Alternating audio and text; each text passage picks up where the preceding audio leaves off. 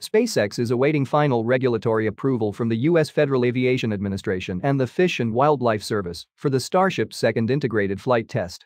According to CEO Elon Musk, Starship 25 and Booster 9 are ready for flight pending government approval, but recent events at the Starbase suggest otherwise.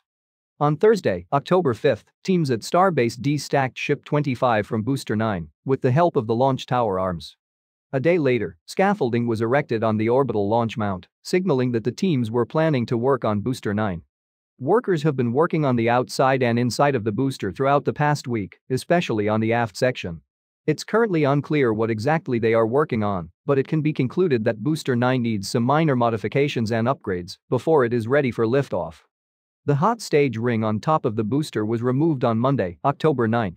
It was the second time the ring was removed from the booster after its installation in August. The last time the ring was removed was on September 21.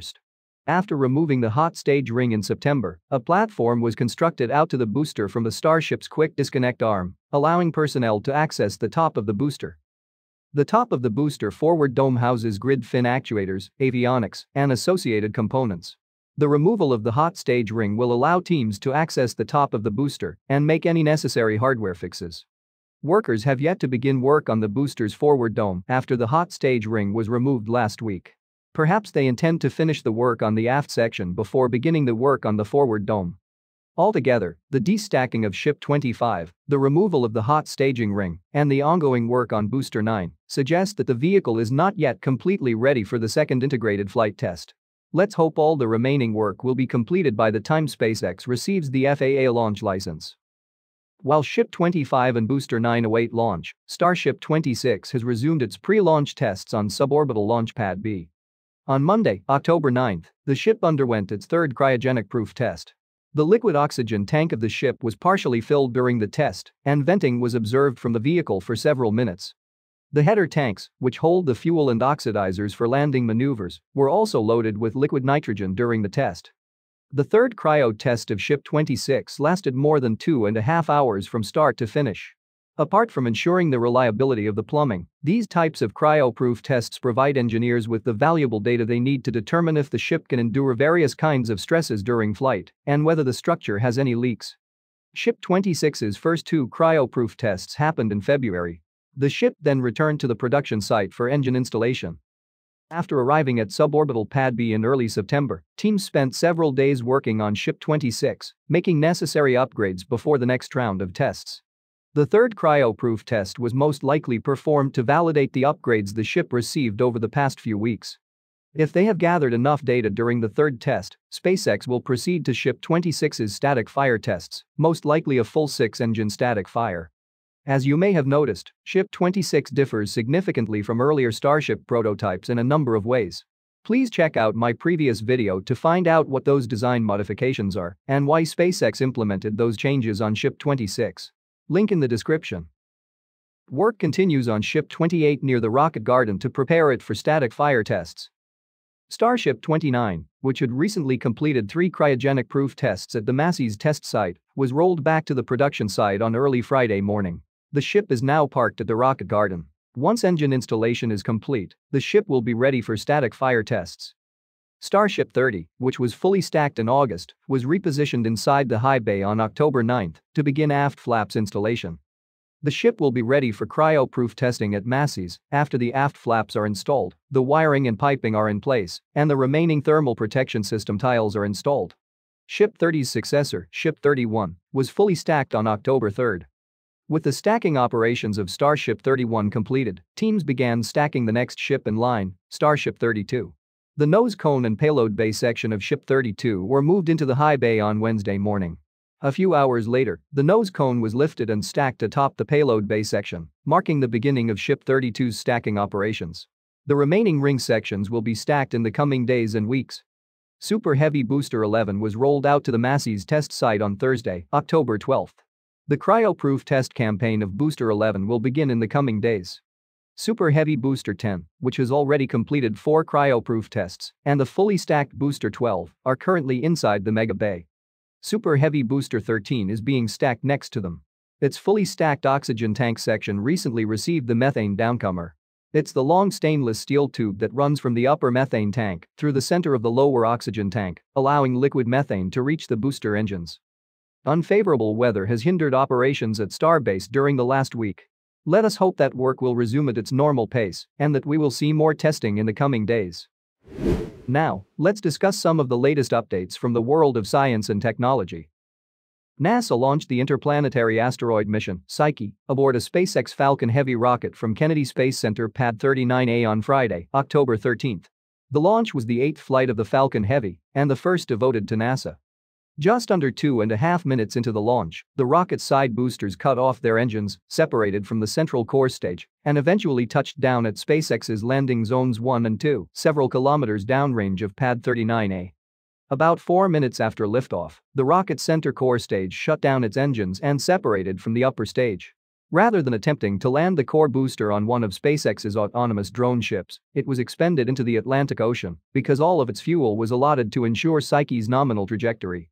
62 minutes after launch, the Psyche spacecraft was deployed from the Falcon Heavy's upper stage to begin its deep space mission. The Psyche mission is a journey to a unique metal-rich asteroid with the same name, located in the main asteroid belt between Mars and Jupiter. The 279-kilometer white asteroid Psyche, discovered in 1852, is considered one of the most fascinating objects in the main asteroid belt, and scientists have only been able to study it at a distance.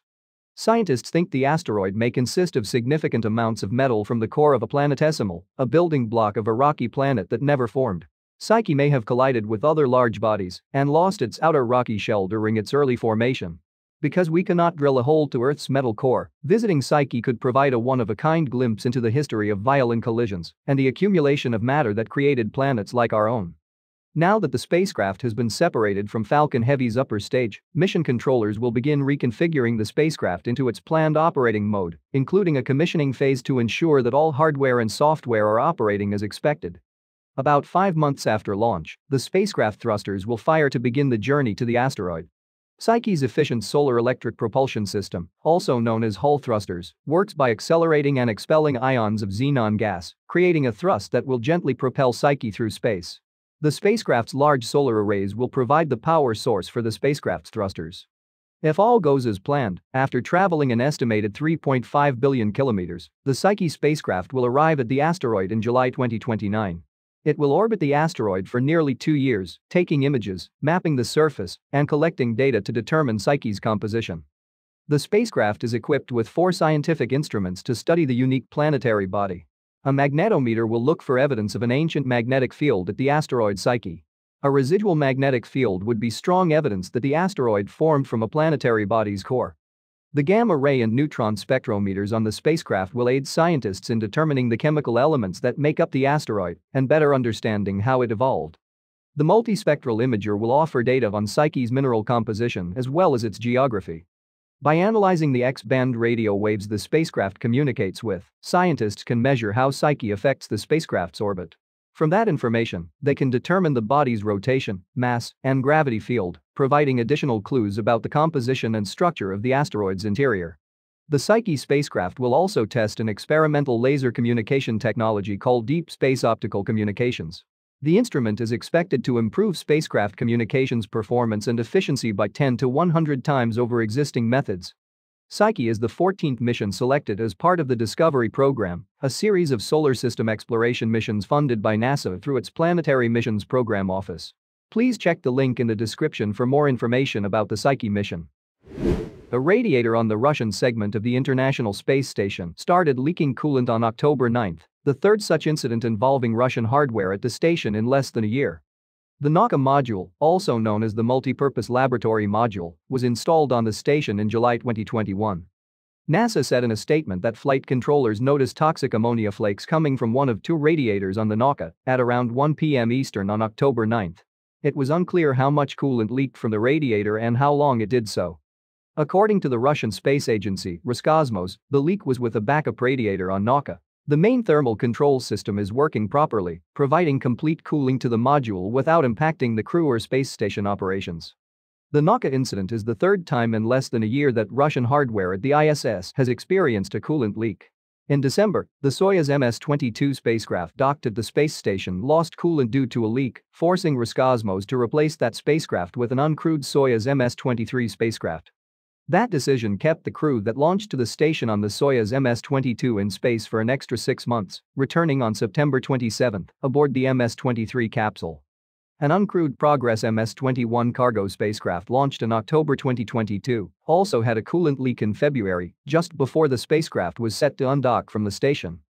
As per investigations led by NASA and Roscosmos, both leaks were caused by micrometeoroids or orbital debris impacts. Because of the Nauka module leak, planned spacewalks by the US astronauts on October 12 and 20 have been postponed, with no new dates set.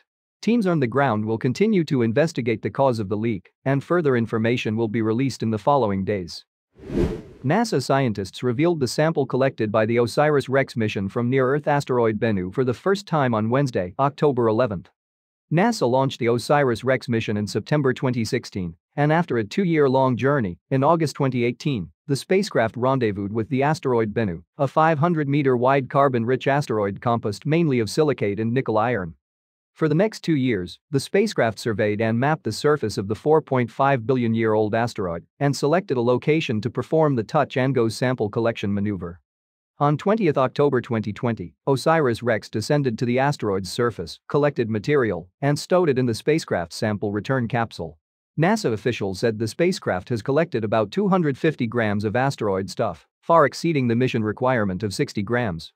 In May 2021, the spacecraft left Bennu's orbit and began a 1.9 billion kilometer return trip to Earth. On September 24, the OSIRIS-REx sample return capsule re-entered Earth's atmosphere and landed in the Utah desert, capping off a seven-year, 5.8 billion kilometer journey through the solar system. NASA teams then collected the sample return capsule and transported it to an environmentally clean laboratory at the Johnson Space Center in Houston. Over the past two weeks, the science team studied some of the rocks and dust using a scanning electron microscope and infrared measurements and performed chemical element analysis. Researchers even reconstructed one of the grains in 3D using an X-ray computed tomography technique to reveal its composition. The initial studies of the pristine asteroid material revealed that Bennu is abundant in water and carbon-containing chemicals. The sample is nearly 5% carbon by weight, making it one of the highest concentrations of carbon to be studied in an asteroid. The analysis also revealed sulfide and iron oxide minerals, critical elements for planetary evolution and biology. The team also shared detailed images of the particles, revealing the water-bearing clay minerals. Their presence could help solve how Earth became a water planet. Asteroids similar to Bennu may have crashed into Earth, filling our oceans. According to NASA, the science teams are so excited to detect water, organic matter, and a wealth of carbon in the samples from Bennu, which are essential elements for all life. With the initial sample examination complete, the sample will now undergo years of careful analysis, which researchers expect to yield a wealth of information about Bennu and other asteroids like it. NASA plans to share the material with more than 200 collaborators across the globe for a wide variety of investigations. Ultimately, Bennu samples will help us better understand how the early solar system formed and the origin of organics and water that led to life on Earth. Please check out my previous video for more detailed information about the OSIRIS-REx mission. Link in the description. Thank you for tuning in for the latest science news and Starship updates. If you enjoyed this video, please hit the like button, leave a comment, and share it with your friends. Also, don't forget to subscribe to the channel and turn on notifications so you never miss an episode.